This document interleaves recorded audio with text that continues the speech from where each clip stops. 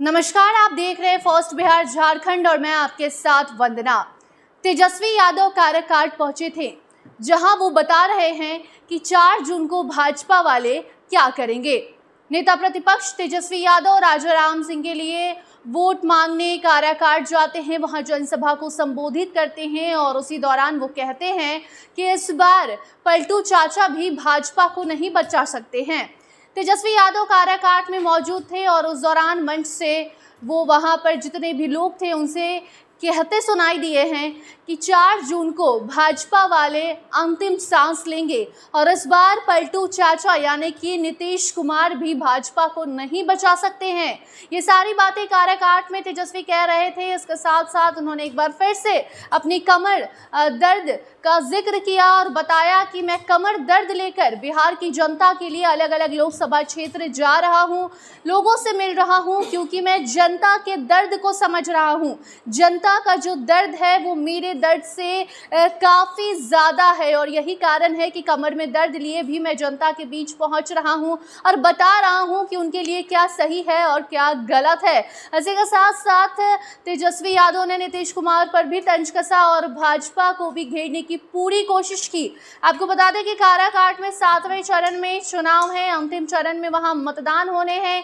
एक जून को काराकाट लोकसभा क्षेत्र में मतदान होगा जिसके पहले एक तरफ़ जहाँ इंडी गठबंधन के प्रत्याशी के लिए लगातार तेजस्वी यादव क्षेत्र भ्रमण पर हैं, वहाँ जा रहे हैं, जनसभा को संबोधित कर रहे हैं तो वहीं दूसरी तरफ़ एनडीए के प्रत्याशी उपेंद्र कुशवाहा के लिए प्रधानमंत्री नरेंद्र मोदी से लेकर अमित शाह तक की रैली वहाँ हो चुकी है, काराकाट में आज एक तरफ़ जहाँ अमित शाह एनडीए के प्रत्याशी उपेंद्र कुशवाहा के लिए वोट मांग रहे थे तो वहीं दूसरी तरफ़ तेजस्वी यादव भी काराकाट में ही मौजूद थे और वहाँ की जनता को वो बता रहे थे कि 4 जून को जब परिणाम सामने आएगा लोकसभा चुनाव का तो उस दिन भाजपा वाले क्या करेंगे? और इस बार चाचा भी उन्हें नहीं बचा पाएँगे। चाचा से साफ़ मतलब नीतीश कुमार से था।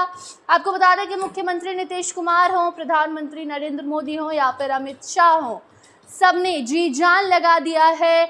एनडीए के प्रत्याशी उपेंद्र कुशवाहा को काराकाट से जिताने के लिए। लेकिन वहीं दूसरी तरफ़ तेजस्वी यादव भी कहीं पीछे नहीं है। तेजस्वी भी वहाँ जाते हैं और राजा राम सिंह के लिए वोट मांगते हैं।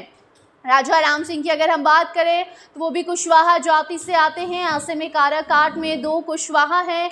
उम्मीदवार वहीं तीसरी तरफ़ पवन सिंह हैं, जो कि अभिनेता से नेता बने हैं और वो भी लगातार प्रचार प्रसार कर रहे हैं। ऐसे में त्रिकोणीय मुकाबला है और उस मुकाबले में आगे बढ़ने के लिए हर एक राजनीतिक पार्टी अपने तरफ़ से जी जान लगाकर बैठी हुई है और उसी दौरान जब तेजस्वी यादव कारा काट गए तो वहाँ जाकर एनडीए को घेरने की कोशिश करते हैं और कहते हैं कि 4 जून का जो परिणाम सामने आएगा उस दिन भाजपा वाले सांस तक नहीं ले पाएँगे और इस बार चाचा नीतीश कुमार, पलटू चाचा भी उन्हें नहीं बचा सकते हैं। बाकी काराकाट में एक जून को चुनाव होने हैं। नतीजे चार जून को सामने आएँगे। देखना दिलचस्प होगा कि त्रिकोणीय मुकाबला है। ऐसे में जनता किसे चुनती है और किसे अपना सांसद बनाती है। जो भी तस्वीरें आएँगी आप तक ज़रूर पहुँचाएँगे। तब तक अन्य खबरों से जुड़े रहने के लिए देखते रहिए फ़र्स्ट बिहार झारखंड। धन्यवाद। पनोरमा ग्रुप जो सोचता है वो करता है। आपके अपने सपनों का आशियाना। ये लो मुँह मीठा करो। आज मैंने अपना जॉब छोड़ दिया। अब हम पूर्णिया वापस जाएँगे। जॉब छोड़ दिया है? मतलब? ये घर कैसे चलेगा? हम करेंगे क्या? और माँ बाबू जी क्या बोलेंगे? इसलिए मैं एक और मिठाई का डब्बा लाया। अपने बिज़नेस के लिए लोन अप्रूव हो गया। अरे लोन अप्रूव हो गया वो तो ठीक है लेकिन पूर्णिया में हम रहेंगे कहाँ? अपना घर भी तो नहीं है वहाँ। इसलिए तो एक और मिठाई का डब्बा अलग से लाया हूँ। हमने पूर्णिया में घर ले लिया है। पूर्णिया के ई होम्स पैनोरमा में। पूर्णिया में पैनोरमा ग्रुप लेकर आए हैं। ई होम्स पैनोरमा बड़ा घर आलीशान ज़िंदगी और अत्याधुनिक सुविधाओं के संग। अरे अरे अब क्यों मुँह मीठा करवा रही हो? क्योंकि हम घर वापसी जो कर रहे हैं। घर वापसी की खुशी।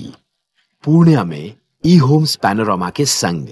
ई homes panorama luxurious lifestyle redefined